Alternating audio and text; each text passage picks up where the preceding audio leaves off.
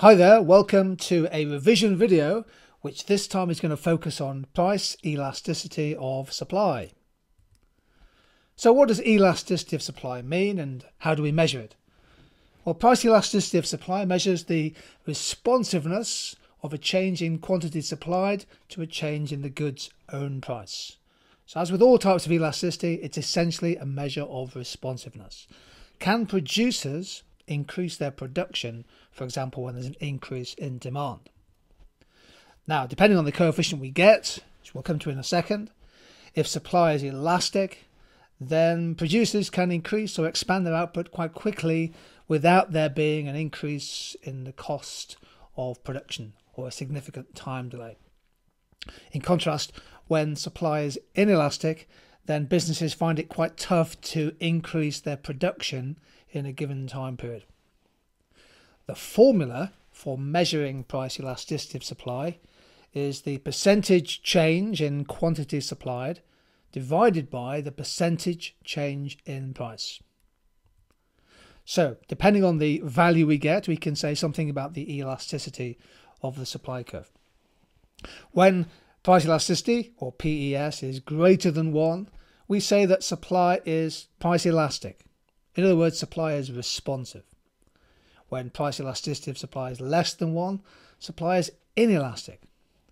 The two extremes are when supply elasticity is zero, i.e. the supply curve is perfectly inelastic, and when the coefficient of elasticity is infinity.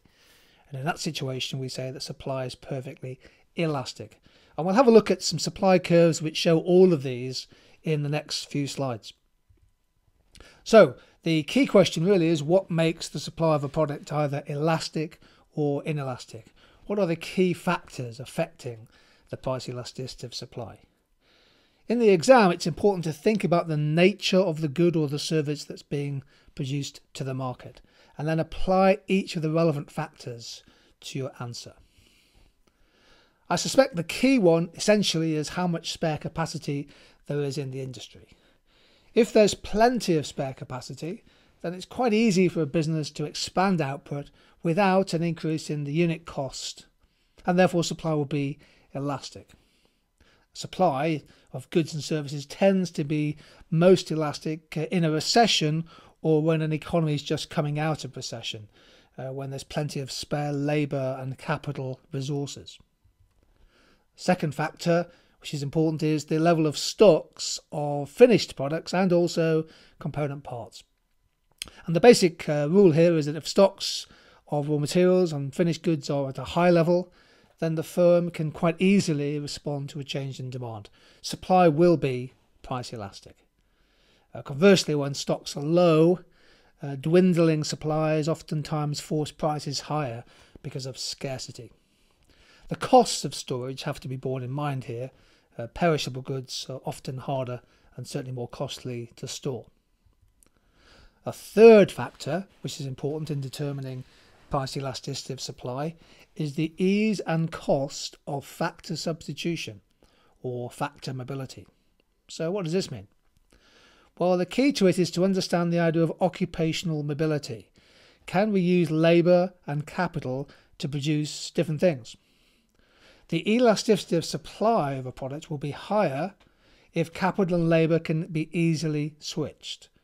So, for example, the printing press could be switched fairly easily and quickly between printing magazines and greetings cards or printing something else, such as posters. Okay, it could be the case, for example, that the change in the price of cocoa encourages farmers to switch out of one product into cocoa. The key is whether the land and the resources can be easily transferred.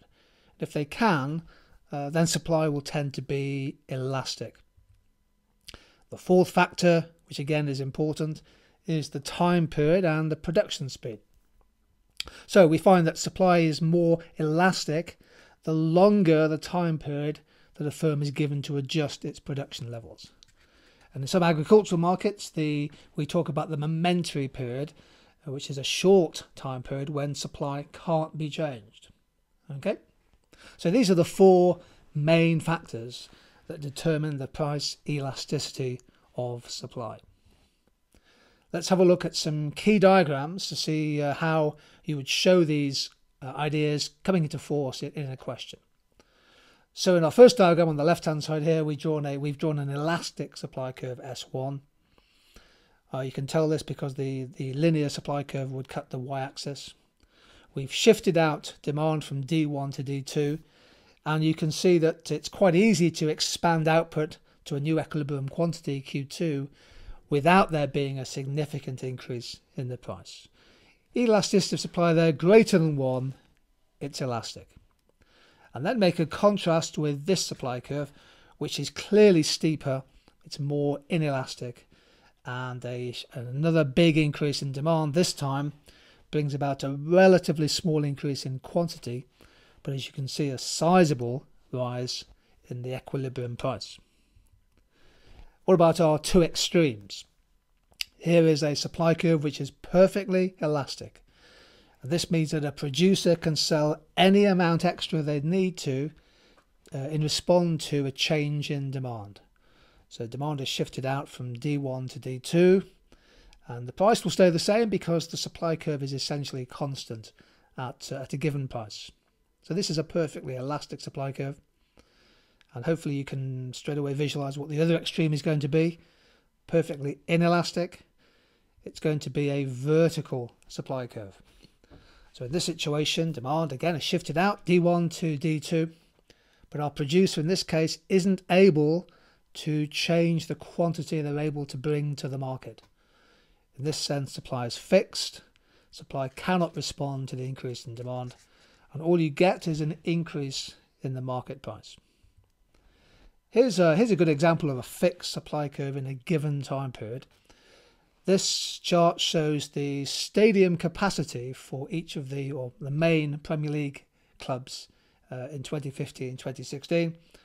And you basically assume that in a given season, the capacity of the stadium is pretty much fixed. Now, depending on who you support, you might argue whether those stadiums will ever be full, uh, particularly, if, for example, if you're a Newcastle United supporter. But hopefully you get the idea here that in this in a given season, the capacities, uh, the stadium's capacity is fixed. The elasticity of supply in that sense is fixed at capacity. Here's a classic exam question. Under what circumstances will market supply be elastic? In other words, the coefficient of elasticity greater than 1 if there's a change in demand. Well, let me give you four things that would help to explain why supply would be elastic. Firstly, it could be the case that the supplier has plenty of spare capacity. Our visual, ex visual example there is the idea of a restaurant which is half empty uh, at uh, certain times of the day. Could be the case that the supplier has very high level of stock easily available and accessible to bring to market to meet rising demand. It could be there's a very short production time frame to get products to market. Think, for example, of businesses such as Domino's that can literally get a pizza ordered online from the oven to, to you, the customer at the end of the final mile, within, let's say, 35 40 minutes. The time frame of mass production increasingly gets very short. And finally, the key thing is whether factors of production can be easily switched from one activity to another.